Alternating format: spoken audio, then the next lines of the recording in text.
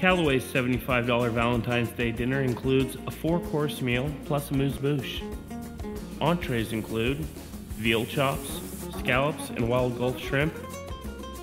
Or for vegetarians, a stuffed delicata squash with goat cheese, wild greens, and a rosé blush sauce.